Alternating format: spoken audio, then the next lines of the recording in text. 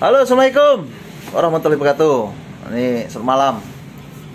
Gua kali ini uh, mau review senar, uh, senar dari Kizuna. Oke, lanjut kita review senarnya. Oke, ketemu lagi di channel saya. Di channel saya, Apriko Badminton Channel. Nah, ini gue lagi di Raja Lelang juga masih. Dan jangan lupa juga subscribe channelnya Raja Lelang. Namanya Raja Gombal Badminton. Dicek YouTube-nya. Jangan lupa di subscribe ya. Di like videonya. Biar sukses bareng-bareng. Amin. Oke lanjut. gue malam ini mau eh, mau review senar eh, dari Kizuna.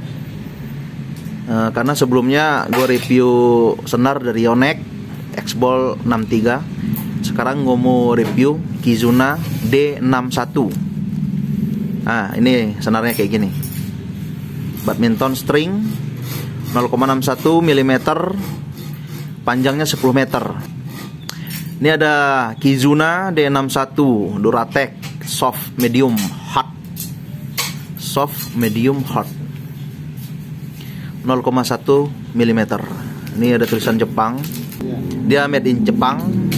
Ini senar kalau dari tulisan sih secara teori harusnya lebih tipis lagi. Ini dari 6 dari 66 dari 63 ya sejenisnya. Ini lebih tipis lagi. Cuman nggak tahu nih, soalnya nggak mungkin juga kita ukur. Ukurnya pakai apa? Itu selera teman-teman lah. Mungkin eh, cocok pakai Kizuna. Ya ukurannya ya ini D61 karena kan Kizuna kan banyak tipenya tuh. Ada Z58 ada Z63 nah ya yang paling ah yang paling unik ya ini D61 modelnya mirip-mirip seperti ini gitu ya. Ini yang paling unik ya ini D61 jadi senarnya agak polos nih. Nih dia ada motif belang-belang begini nih kelihatan lebih kokoh lebih kuat lebih awet tapi gak tahu. Dia nih ini contoh terpasang di raket nih kayak gini nih. Nah ini udah terpasang di raketnya nih. Ini D61 juga nih cuman beda warna. Tuh. Ini di Max Ball Superstar LT ini tarikan 28 ini suaranya kayak gini nih dulu itu suaranya kayak gitu nyaring Deh, punya kebetulan ini ada yang punya diambil raketnya gitu nah, ya kebetulan nih, ini yang punya nih. Ini apa nih? Nah, ini yang punya nih. Tuh, dia yang punya yang punya raket barusan. Dia pakai Kizuna, dia 61. Bilang apa dong? Jangan lupa subscribe channel Apriko Badminton Apriko Channel. Badminton. Channel. Eh, Channel. Mantap. YouTube. Mantap sekali. Ya. Udah nih. Ini dia punya dia. Mantap kan? Masuk YouTube tar, cek ya ntar ya. Cek YouTube. Ntar uploadnya tiga hari lagi. Oke, oke. Bisa deh cepet amat. Duit. Yuk. ya, makasih. Nah, itu contoh dah, dah terpasang, itu diambil sama orangnya. Oke, dilanjut. Sampai mana tadi ya? Ah ya, motif motifnya unik, belang-belang. Kalau senar-senar biasa kan, yang kita tahu kan polos, warna putih, hijau, hijau stabilo, kuning, merah, biru, hitam. Ini gak ada tulisan pasti nih buat warna, cuman ini oranye hitam, paduan oranye hitam belang-belangnya, cuman nggak ada tulisan pastinya. Oke, lanjut ya, kita review speknya.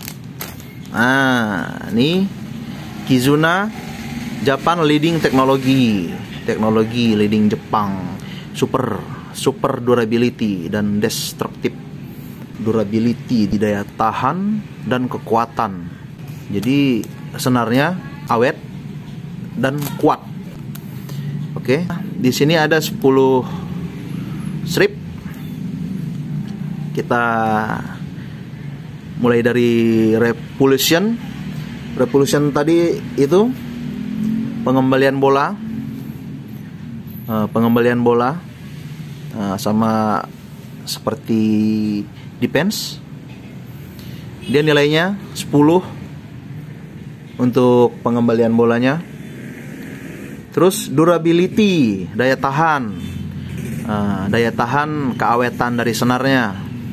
Itu di strip 10 di angka 10 juga kekuatannya.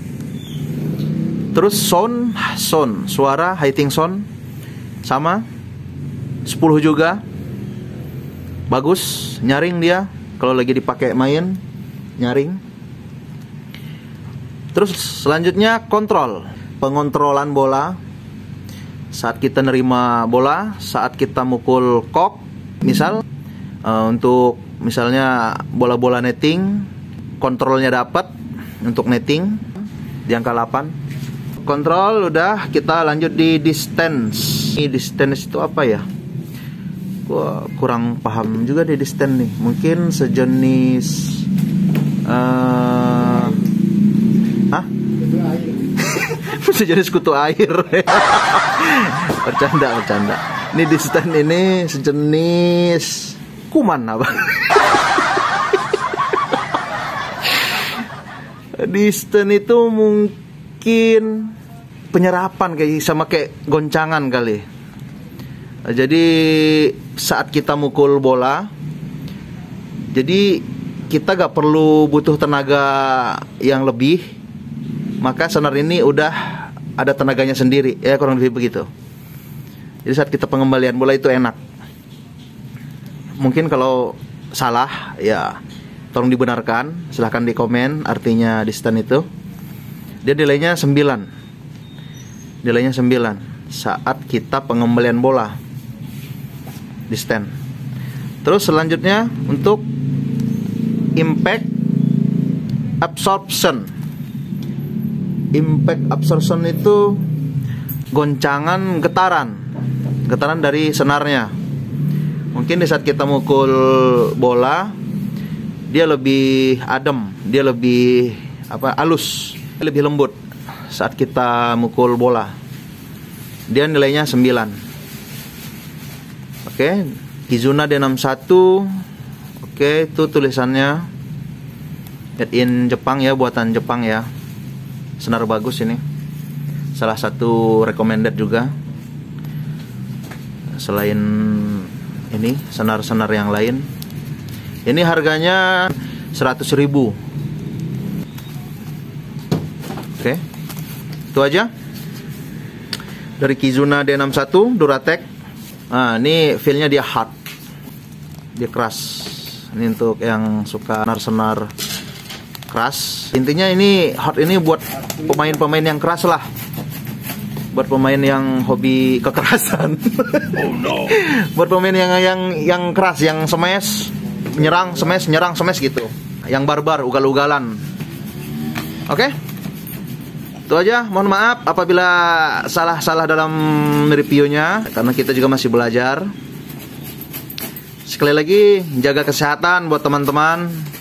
Selalu prokes, pakai masker ke mana aja. Jangan keluar rumah kalau nggak penting-penting banget kecuali badminton ya ya karena itu untuk menjaga imun kita olahraga tapi jangan kebanyakan juga ya sekali main dua kali main tiga kali main cukup maksimal tiga kali main. Gue juga kalau main badminton tiga kali main cukup. Oke? Assalamualaikum warahmatullahi wabarakatuh. Bilang apa dong? Jangan lupa. Jangan lupa. Subscribe, Subscribe channel Juni. Up eh telu jangan lupa subscribe channel Apriko Badminton Channel. Yuk. Oh, jangan lupa subscribe channel Apriko Badminton Apriko Channel. Badminton. Channel. Channel. Mantap. YouTube, mantap subscribe ya.